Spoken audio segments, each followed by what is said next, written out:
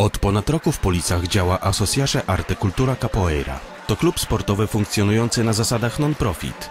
Organizuje on bezpłatne zajęcia capoeiry, czyli brazylijskiej sztuki walki dla dzieci i młodzieży.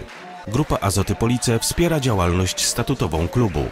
Szukaliśmy sponsorów, no ciężko ze sponsorami, ale udało nam się pozyskać takiego sponsora jak Grupa Azoty, z czego jesteśmy bardzo zadowoleni. To wsparcie pozwoli nam zakupić tutaj sprzęt potrzebny do ćwiczeń, bo jak widać grupa jest mieszana, w, tym są małe dzieci i potrzebne są też e, inne sprzęty, bo to nie może być tylko jakiś tam wysiłkowy trening, tylko też musi być trochę zabawy.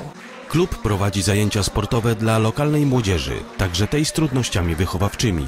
Trenerzy motywują swoich podopiecznych do zdobywania lepszych ocen w szkole, interesują się ich problemami i wspierają. Warunkiem uczestnictwa w zajęciach jest zakaz sięgania po używki. Capoeira jest ogólnorozwojowa, jest samoobroną, jest muzyką, jest akrobatyką, jest śpiewem, jest rytmiką. Wszystko można znaleźć w capoeira, co tylko człowiek chciałby znaleźć. I dlatego jest piękna. Ja już ćwiczę ponad 20 lat capoeira. Zakochałem się w tym sporcie i każdego zachęcam i próbuję. Zajęcia capoeiry odbywają się w poniedziałki i piątki o godzinie 18 w siedzibie Rady Osiedla nr 2 w Policach przy ulicy Konopnickiej. Od stycznia w każdą środę organizowane są również treningi dla wszystkich chętnych, którzy chcieliby rozpocząć przygodę z capoeirą. Nieodpłatnie może wziąć w nich udział każdy, niezależnie od wieku.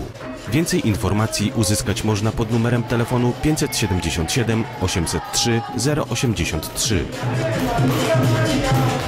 Yeah!